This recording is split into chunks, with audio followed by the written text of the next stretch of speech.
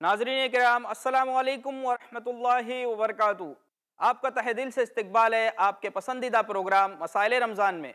नाजरीन हमेशा की तरह आज भी स्टूडियो में मौजूद हैं हमारे ख़ास मेहमान फ़जीलतुलशेख जनाब खालिद जमील मक्की साहब। असलकम वरहमल वबरक वालेकुम अस्सलाम रहमतुल्लाहि व बरकातहू शेख मोहतरम आपका तह दिल से इस्तकबाल है हमारे प्रोग्राम मसाइल रमज़ान में। जजाकल्ला खैर बारकल्ला फ़ीकुम। नाजरीन कराम आइए हमारे प्रोग्राम को आगे बढ़ाते हैं और शेख मोहतरम से पूछते हैं आज का हमारा पहला सवाल।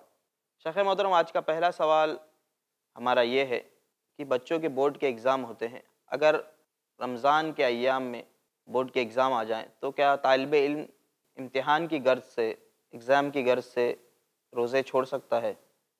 इम्तहान बोर्ड का हो या कोई दूसरा और इम्तहान हो, उसके लिए रोज़ा तोड़ना सही नहीं है। जी। इस वजह से कि रोज़ा एक फ़र्द इबादत है और उसका एक वक्त मुतन है शरीयत की तरफ़ से। वो उसी वक्त में होगा। इम्तिहान ये इंसान उसे तय करता है। बिल्कुल। तो उसे चाहिए कि अव्वलन उन अयाम में जिन अयाम में रोज़ा हो उसमें इम्तिहान ना रखा जाए।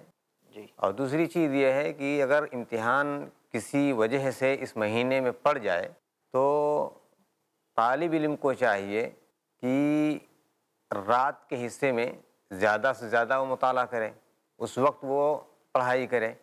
और आम अयाम में भी यकीनन और तकरीबन यही होता ही है कि लोग दिन में पढ़ते हैं और रात में आराम करते हैं या देर रात गए तक मताल करते हैं तो इन कोई हरज की बात नहीं है। तो अपना जो मामूल है, उस मामूल के मुताबिक वो अपना इम्तहान की तैयारी करें। लेकिन रमज़ान के रोज़े तोड़ करके इम्तहान की तैयारी करने के लिए शरीयत उसकी इजाज़त नहीं देती। जजाकमल्ला खैर, शेख मोहतरम, बहुत बहुत शुक्रिया।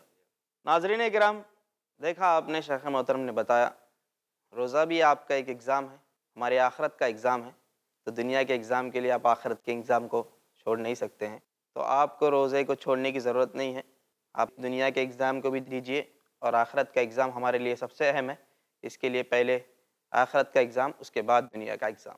आइए शेख मोहतरम से जानते हैं हमारे दूसरे सवाल का जवाब। शेख मोहतरम हमारा अगला सवाल आपसे ये है कि एक शख्स है जो शराब का काफ़ी आदि है। रमज़ान के दिनों में भी रात में शराब पीता है। तो ऐसे शख्स के बारे में उसके दिन के रोज़े के बारे में क्या हुक्म है? अगर वो शराबी दिन के अवकात में शराब नहीं पीता जी। उसका रोज़ा सही होगा? अलबत् उसका जो अमल है वो अमल शरीयत की निगाह में नापसंदीदा है। और एक ऐसे चीज़ को वो इस्तेमाल कर रहा है जिसको अल्लाह तबारक ताली ने हराम करार दिया है। इन नमल खमरु वलमैसरु वल अनसाब वल अज़लाम रिजसुम मिन अमल शैतान फजतनबू। जी। तो कुरान में अल्लाह तबारक ताली ने शराब को हराम करार दिया है। और उससे इज्तनाब करने की बात कही गई है। और ये कहा गया है कि ये शैतानी अमल है। हमें उससे दूर रहना चाहिए। रोज़ा एक इबादत है। उस रोज़े के महीने में यहाँ एक बात ये भी बताना चाहूँगा कि बहुत से लोग समझते हैं कि दिन के अयाम में बुराइयों से बचे रहें और रात में तो खाने पीने और हर चीज़ की आज़ादी है तो और भी चीज़ों की आज़ादी है। जी हाँ, उससे करते हैं। ऐसा अभी कुछ लोगों का गुमान है ऐसा समझते हैं। तो उन्हें समझ लेना चाहिए कि माह रमज़ान या रोज़ा मुकम्मल इबादत है यानी 24 घंटे की एक इबादत है। बस उसमें कुछ वक्फ़े के लिए खाने पीने और ख्वाहिशात की तकमील की इजाज़त है।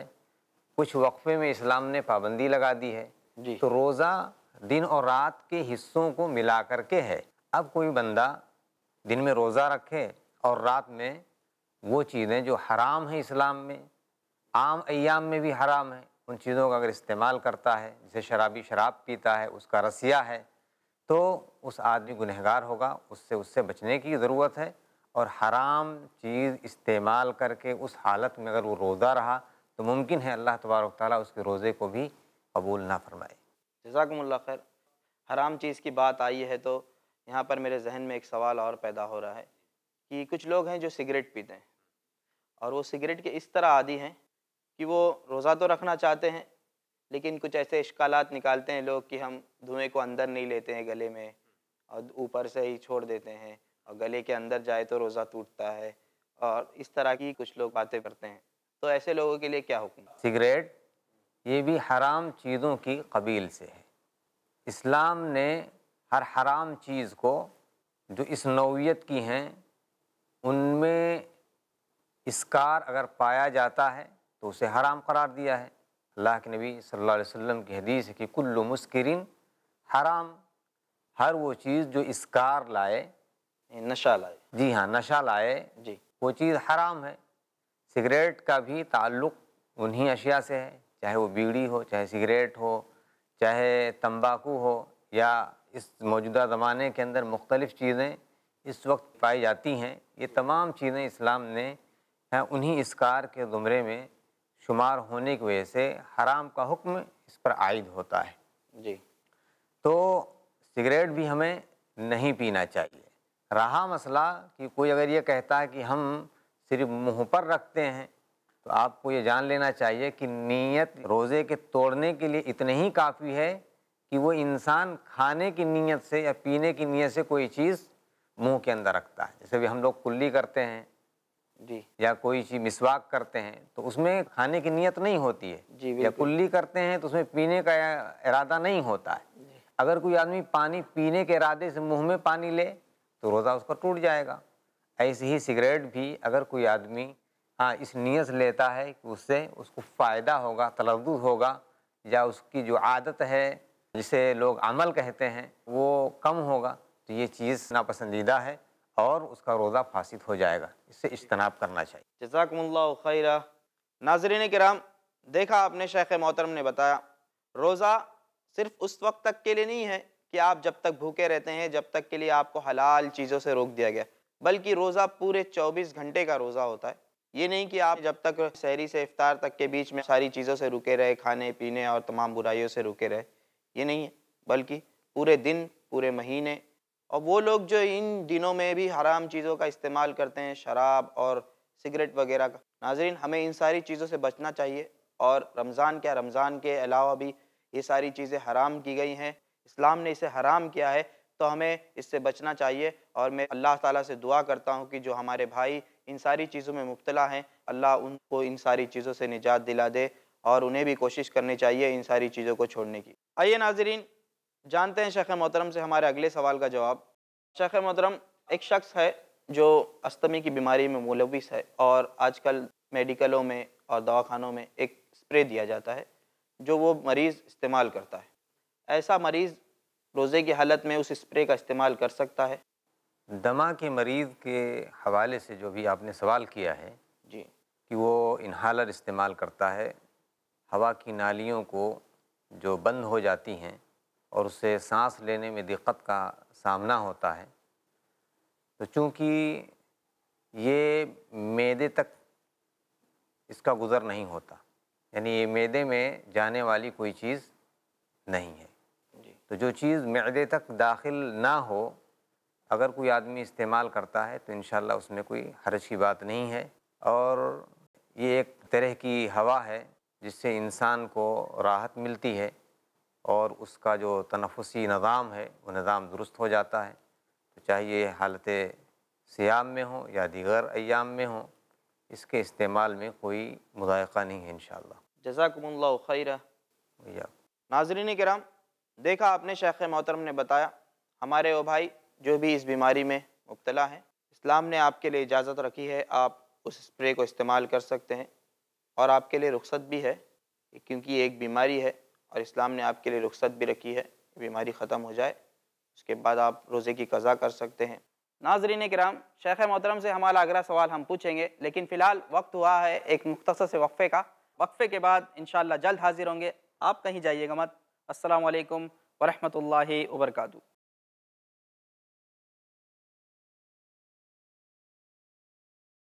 असलकम वरहमल वर्का नाजरीन कराम वादे के मुताबिक वक्फ़े के बाद फिर हाजिर हूँ प्रोग्राम मसाइल रमज़ान लेकर।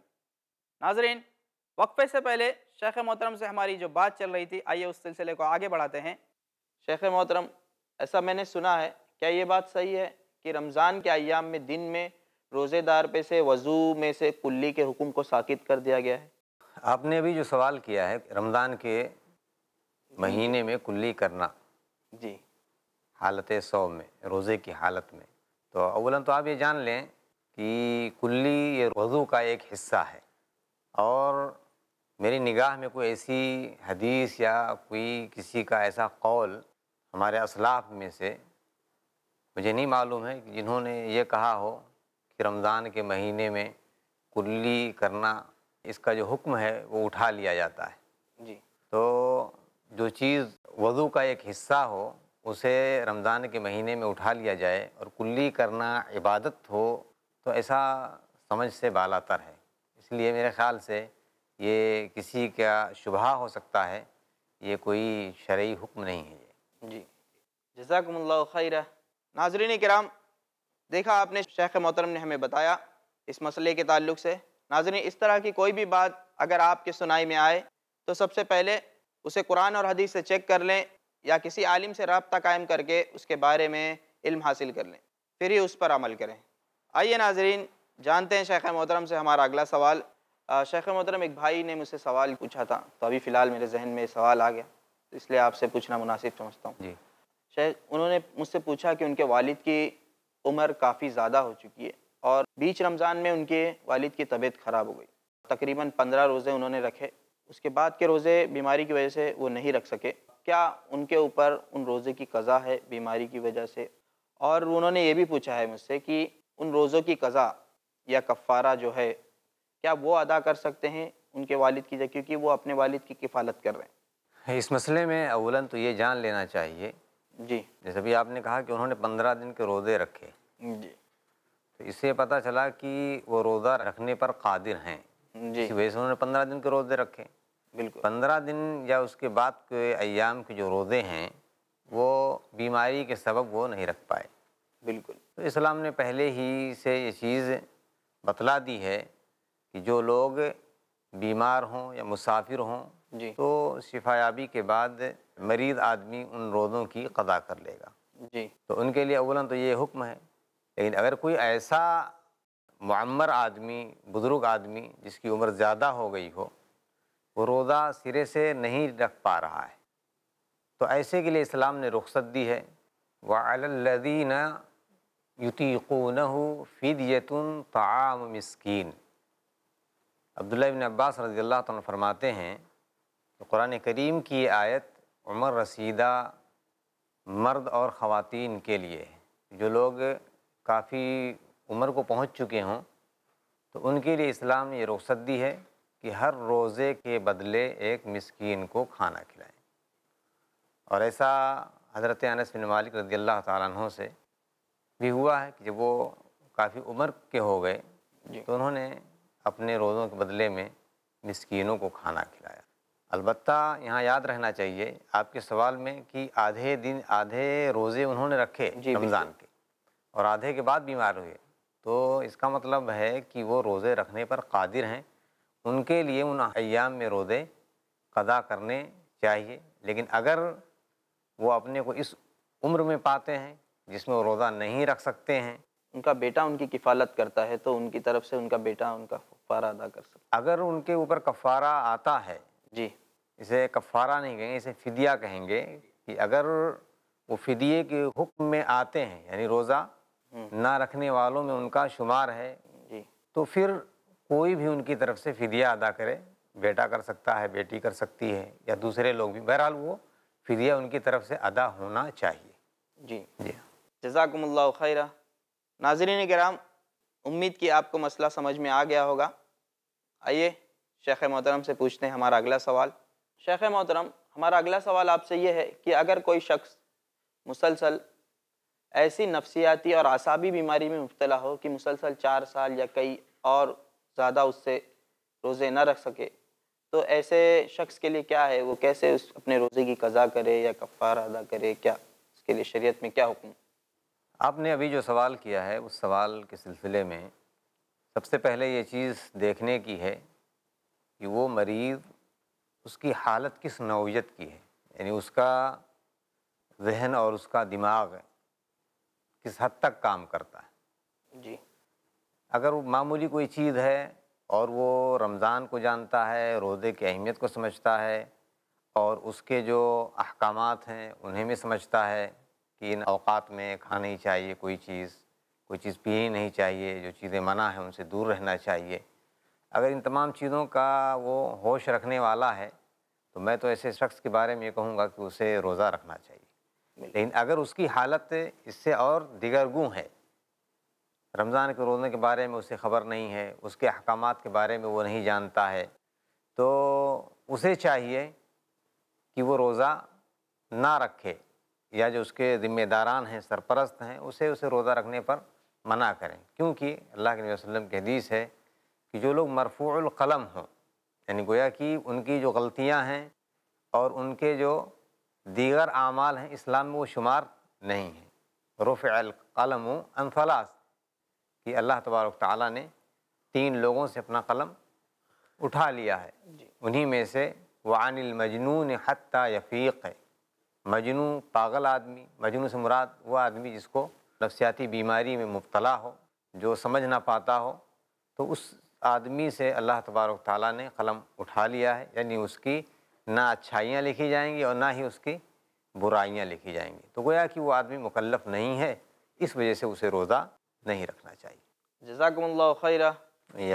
नाजरीन कराम शेख मोहतरम ने जैसा कि पहले भी हमें बताया था कौन लोग हैं जिन पे से कलम उठा ली गई है और तीन आदमियों के बारे में। और ऐसा शख्स ऐसे उम्र को पहुँच जाए जो समझ बूझ नहीं रखता हो तो वो भी उस ज़िमरे में आता है। आइए नाजरीन शेख मोहतरम से जानते हैं हमारा अगला सवाल। शेख हमारा अगला सवाल आपसे ये है कि अगर कोई शख्स पहले या दूसरे रोज़े से वो बीमार हो गया जी। और ऐसी हालत में उसने पूरे रमज़ान रोज़े नहीं रखे और ईद के दिन उसका इंतकाल हो गया। तो ऐसी सूरत में उस शख्स के लिए क्या है? या उसके घर वालों के लिए क्या है? क्या उन लोगों को उसकी कज़ा या उसके लिए खाना उसके एवज़ में खाना देना पड़ेगा? क्या हुक्म है शरीयत में इसका? रमज़ान के पहले और दूसरे रोज़े उसने रखे। जी। और फिर उसके बाद वो बीमार पड़ गया। तो पहले दूसरे रोदे रखने की वजह से उसे रोदा रखने पर कादिर माना गया। बिल्कुल। उसे कुदरत थी तभी रखा। जी। लेकिन उसके बाद वो बीमार पड़ गया तो वो मरीज़ के हुक्म में आ गया। और अल्लाह तबाक ने फरमाया है वमन खान मरीदन और अला सफ़रिन फ़ाइदतमिन अयामिन उखर। कि जो मरीज़ हो या मुसाफिर हो तो दीगर या दूसरे अयाम में उनकी वो कज़ा करेगा। अभी बेचारा बीमारी की वजह से इसे ये हक हासिल था ये सहूलत उसे थी कि वो उसे रमज़ान के बाद वो कज़ा करता।